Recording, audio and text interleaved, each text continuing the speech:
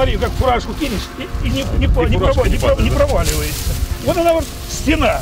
Бросив кепку на колосье, вот таким старым народным способом гости сразу по приезду оценивают урожайность. Народный метод и правда работает. Реальный показатель здесь, в Стародубском районе, впечатляет даже настоящих гуру – брянских ветеранов агропромышленного комплекса. 100 центнеров с гектара для местных сельхозпроизводителей – это не фантастика, а норма. И, кстати, совсем не предел. К слову, о такой урожайности мечтает даже юг России с его плодородными почвами.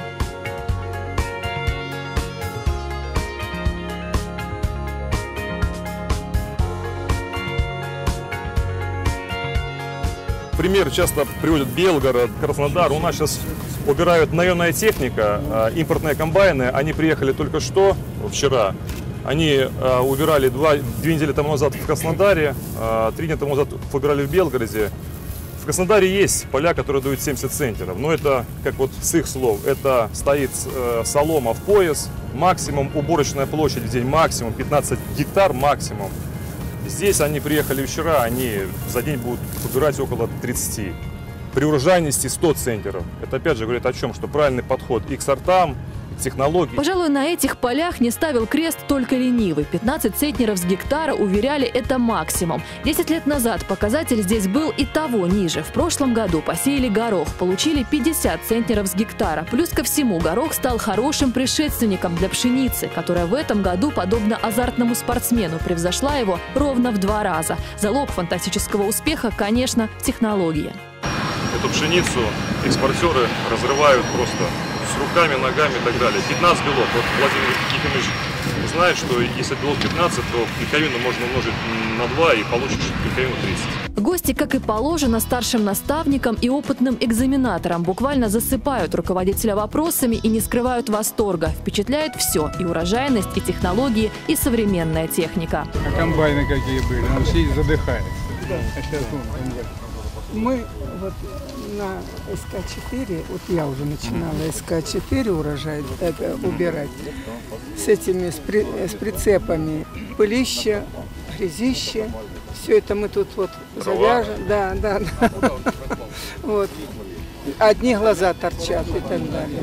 Поэтому, конечно, при таком вот урожае, при такой вот э, технике, конечно, технологии, это душа радуется. К разговору сразу же подключается губернатор. Умные машины с кондиционером и массой удобных возможностей значительно облегчают труд механизатора и здорово экономят время. Но наличие современной техники далеко не гарант урожайности. Техника не дает урожай. Техника дает условия труда. Все. А урожай дает технология. Если технологию не соблюдать, вот, может, мы ничего не получим. Даже само внесение минеральных удобрений тоже подкормки азотом. Если мы не подкормим вовремя, а подкормим через 2-3 недели, мы 100 центнеров не получим, мы получим 30. Дальше те же самые дозы азота, те же самые дозы фосфора, те же самые дозы калия. Если мы отходим от технологии хотя бы в одном, все, мы ничего не получаем. Вот то же самое, почему такая она низкая? Она же низкая, потому что она обработана против полигания. Тоже ЦЦЦ.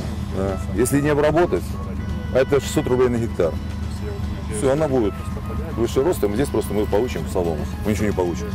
Знаете, невозможно здесь сэкономить. Все. Уже понятно, что нужно дать и когда. И вот если вот это вот мы, ну, что мы сегодня делаем в области, когда мы всех собираем, проводим семинары, я говорю, нужно сделать вот так. Не изобретай велосипед, он уже изобретен, колесо есть. Делаешь, ты получаешь. Окинув все своим профессиональным взглядом и оценив, почетные гости твердят в унисон. Эти поля в Стародубском и Погарском районах – настоящая учебная площадка для всех, кто нацелен на результат и получение прибыли. Мы первое удобрение увидели в 59 году. Мы, нам дали вот на ладошку и говорит, вот насыпали, и говорят, разберите, где азот, где фосфор, где калий и так далее. А сейчас, видите, под запланированный урожай по расчетам вносят. Так, так и надо. И, естественно, ни травинки, ни соринки стоит стеной. Действительно, поле отвечает тем требованиям, что в него вложили. Я прошлый год был, когда такие, как мы, ветераны, руководители, специалисты, руководители районов были со всей области. И вот второй год. Разные погодные условия. Разные совершенно, что прошлый год. А результат один и тот же. Это впечатляет. Понимаете, это впечатляет. Впечатляет то, что смотрите, какая мощная на полях техника. Если раньше, вот Александр Васильевич приводил фермерша, комбайн Нива, а я еще помню и Сталинец, когда комбайн был. Это тоже. И самое главное, это соблюдение технологий. Это самое главное. И очень много здесь сегодня говорилось, это связь науки с производством.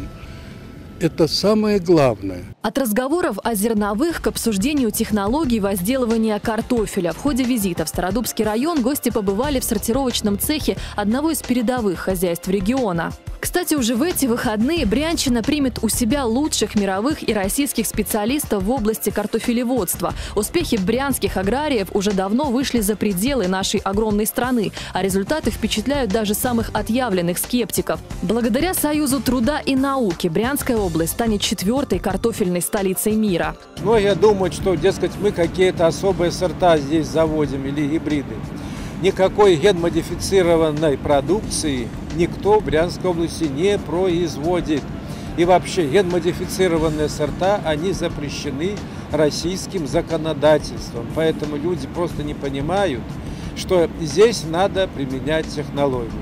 Регулировать все факторы жизни растений и знать мнение самих растений. Если мы это знаем, мы регулируем, мы получаем максимально возможную продуктивность при любых условиях погоды. Кукуруза – еще один объект внимания. С четырехметровыми растениями сразу же бросились фотографироваться все. Отменный урожай царица полей в этом году дает на всей территории региона, замечает губернатор. Такого кукурузы не было раньше. Она в этом году просто она во всех там стоит, душа радуется. Запланированный показатель в 2 миллиона тонн – это уже не призрачная и довольно амбициозная перспектива, а реальность.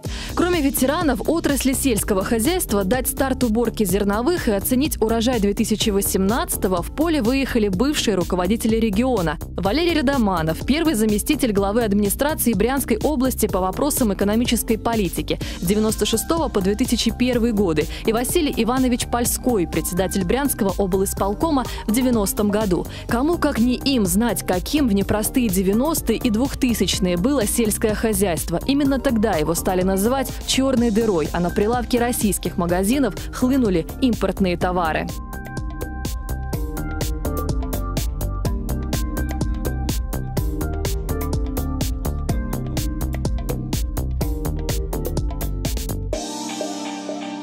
Впечатление действительно э, позволяет уверенно сказать о том, что Брянщина и сельское хозяйство Брянщины, да я знаю, в общем-то, экономику Брянщины не понаслышке, мы постоянно мониторим значит, э, основные показатели развития Брянщины, она на верном пути.